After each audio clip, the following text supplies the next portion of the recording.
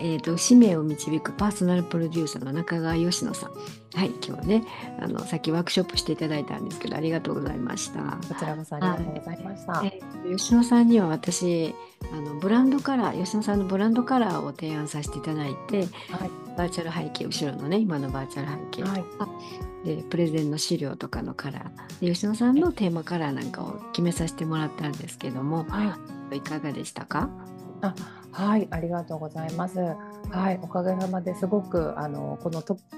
トップにですねこの後ろのバーチャル背景ものすごくあの好評でして、はい、あのなんかこう褒められる機会がこう増えてですねなんか後ろの背景すごいいいですねとか似合ってますねとか、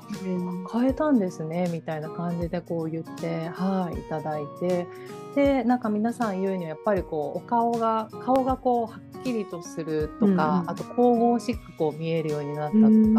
まあ、そういったような形で、はい、言っていただく機会が、はい、増えてきております。あよかったです。はい、でそれもやはりこう私のこう内面の、うん、なんて言ったらいいんですかね、からのその、ぱなんて言ったんですか内面のこう美しさをこう引き出すみたいなところを、うん、あの昭恵さんが見ていただいたことから、まあ、生まれたあの賜物だなっていうふうに思ってまして、やっぱりこう自分が選ぶあの色っていうのはいつもこういう系みたいな私の場合だと前はこうくすんだ青っていうのが、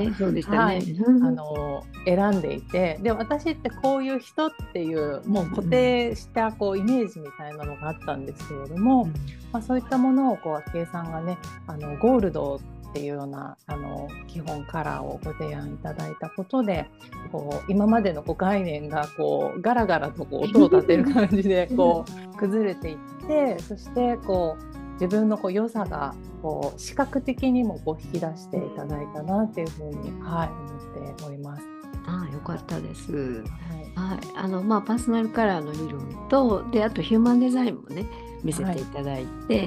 い、でマニフェスターというタイプでしたから、はい、あのくすんだブルーじゃちょっともったいないなって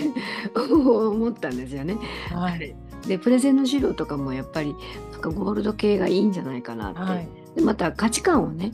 はい、価値観とか使命を提案する方なので価値観をイメージさせるゴールドっていうのはすごく合うなと思ったんですよね。はい、そしたらもうぴったりで、はい、はい、あのプレゼンの資料とかもさっき見せていただきましたけど、よ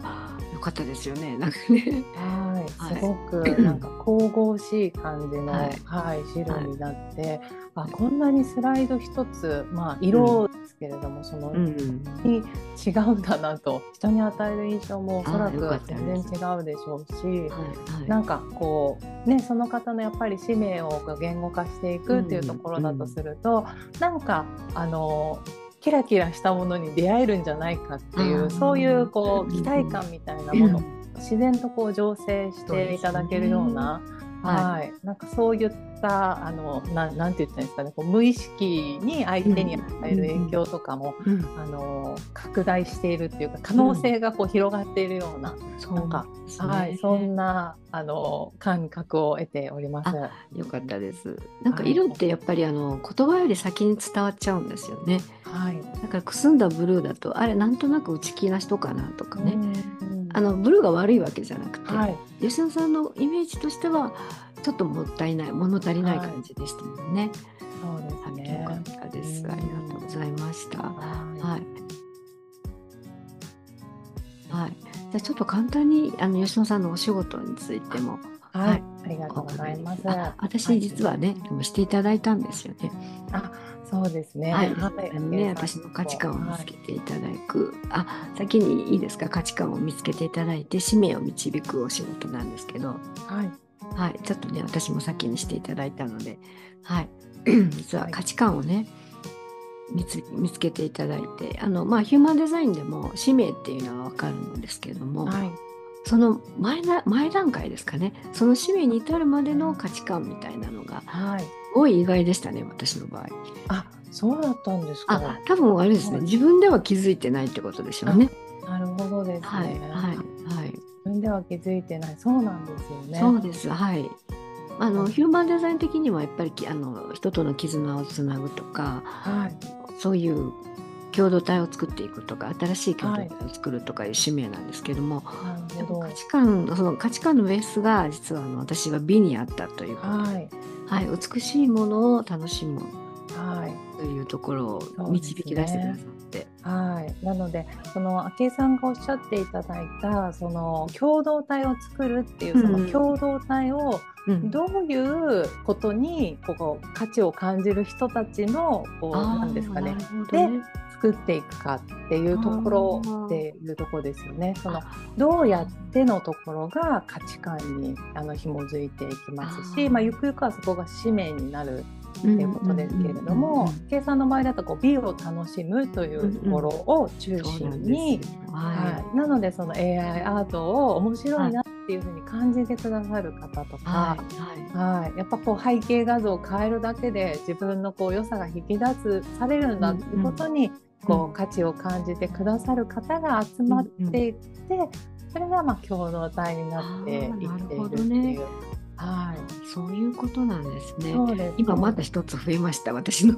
理解が。はい、なので、何をしてっていうその具体的なところですよね。はい、そこがやっぱりこう分かんないと、うん、なんとなくこう共同体を作るっていう風なことだけだと、ぼんやりしちゃいますよね。ぼんやりしてたんですよ。はい。はい、うんこがねすごくよくわかりました。そうですね。はい。だから本当に吉野さんのおかげでね私の方向性がピタッときたっていうところで、はい、はい、それでこの AI アートをすごくやりだしたら、はい、もうどんどん広がっていって。はい、そうですよね。本当そうですよね。あのびっくりするぐらい広がって、で、はい、AI アートのコミュニティ作ってって言われて、言われたとこなんです。あらみたいな。